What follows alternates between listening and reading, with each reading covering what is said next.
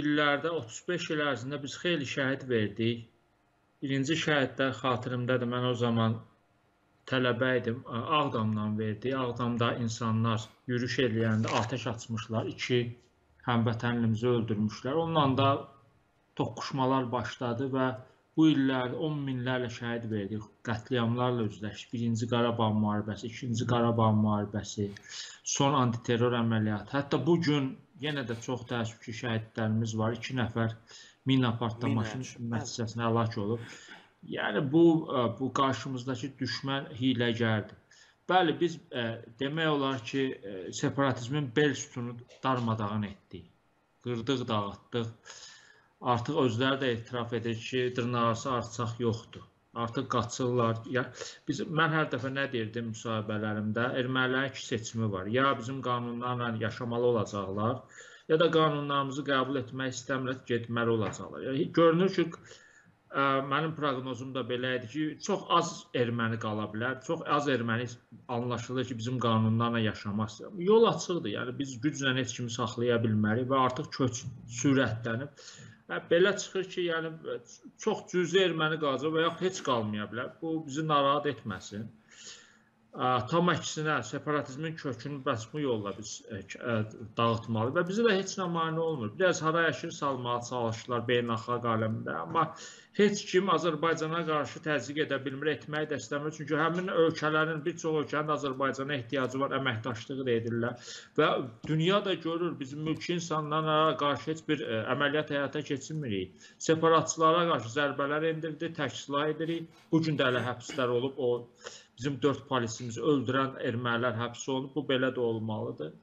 Və mülki insanlara da seçim vermişik də. Yəni ə, e, Ona görə bu bu məsələdən də narahat olmağa dəyməz ki, güya beynəlxalq aləmdə bizə təzyiq olacaq. Bu etnik təmizləmə deyil, bəzi ermənipərəst mərkəzlərin iddia etdiyi kimi. Amma siz sualınızda bir cümlə işlətdiniz. Nöqtə, yəni məsələ bitdi. Əlbəttə, kökünü kəsdi, amma mən o zaman nöqtə qoyulduğunu deyəcəm ki, daxili qoşunlarımızı Xan kəndində görəndə bayrağımız Xan kəndinin onların dırnaqası parlament binası dalğalanır. Bəli, o, bu olacaq 100% olacaq. Amma məhz onu da görmək istəyirəm. Onu da görmək istəyirəm ki, məsələnin bitdiyinə tam əmin olum və o zaman məsələnin bitdiyində deyəcəm ki, 2 ildən sonra və yaxud daha tez Rus hərbi kontingenti bölgəni tərk edəcək. Bu da baş verəcək. Zaten ehtiyac yoxdur artıq Rus hərbi kontingenti. Əgər ermənilərin 90-95% çıxıb gedəcəksə, nə ehtiyac var ki, hərbin kontingenti? Və hesab edirəm ki, Rusiya bizimlə də münasibətləri gərginləşdirmək istəməyəcək.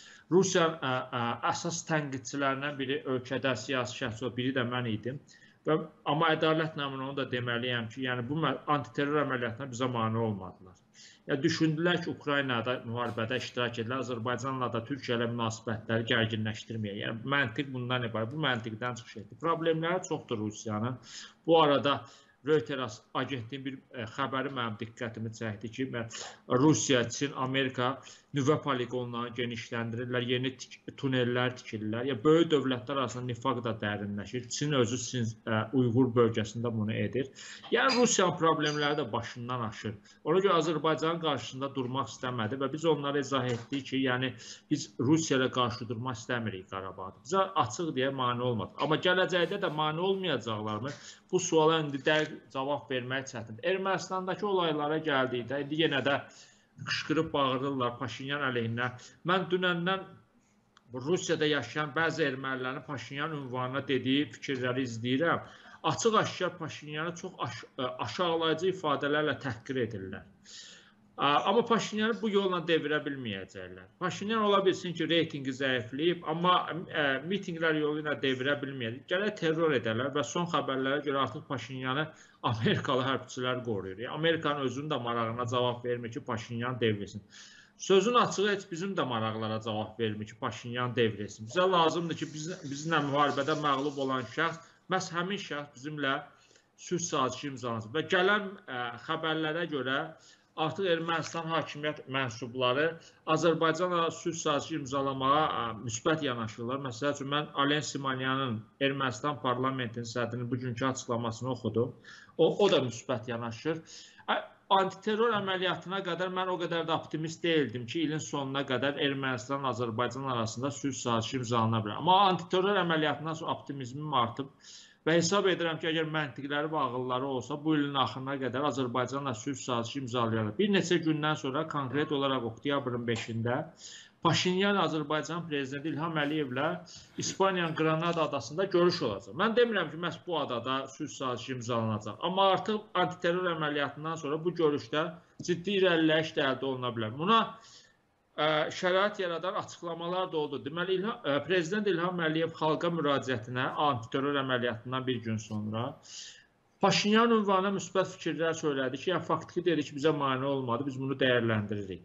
Paşinyan da bir neçə gün sonra Təhlükəsizlik Şurasının iclasında dedi ki, bəli, Qarabağda yaşayan ins mülki insanlara qarşı heç bir cəza tədbiri Azərbaycan ordusu görmüyor. Ya, bu da belə bir cavab verir. Yəni müsbət atmosfer bununla yaradıldı. Amma Paşinyan əlbəttə ki, təzyiq olacaq, daxildən təzyiq olacaq. Amma bu təzyiqlər onu devirəcək gücdə deyil. Ona görə ağlı və məntiqi çatırsa, ilin sonuna qədər Azərbaycanla sülh sazişi imzalayar.